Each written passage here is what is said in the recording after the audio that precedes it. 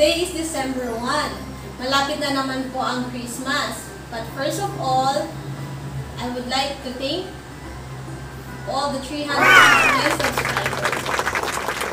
And because of that, we're going to make more videos about DIY tutorial for Christmas decoration. For your more ideas,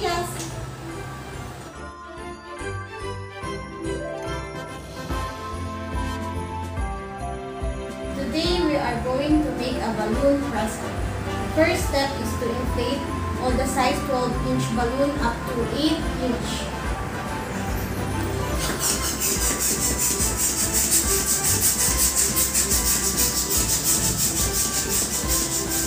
You can use a balloon hand pump if you don't have a, an electric pump.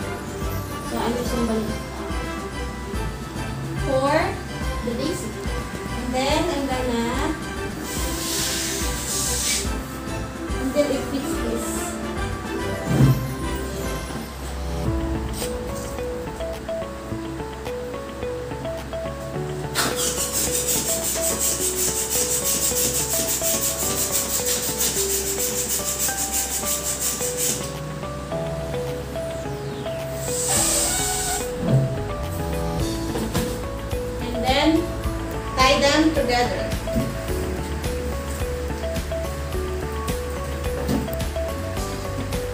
you don't have a balloon sizer, you can do this.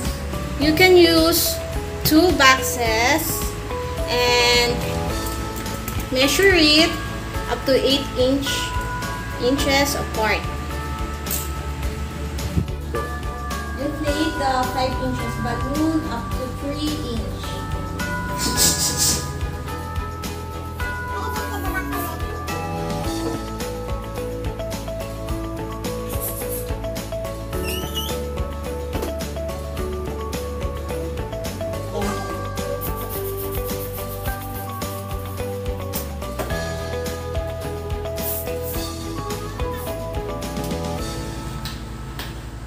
Make sure to leave some space for tying it, tying it up later.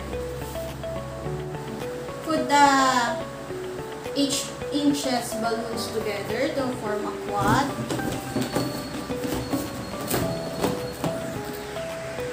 And also the 5 inch balloon that we inflated into 3 inches. I will get a long balloon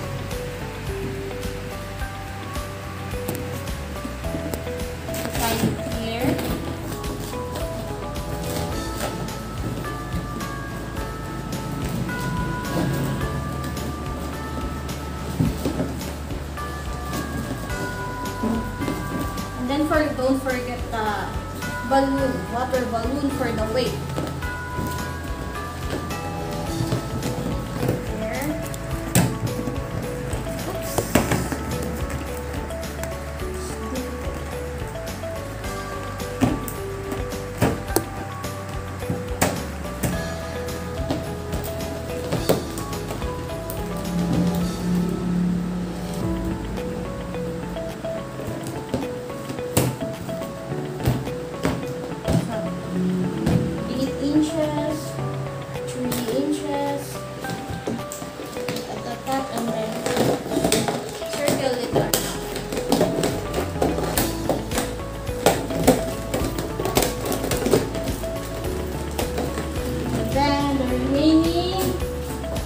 eating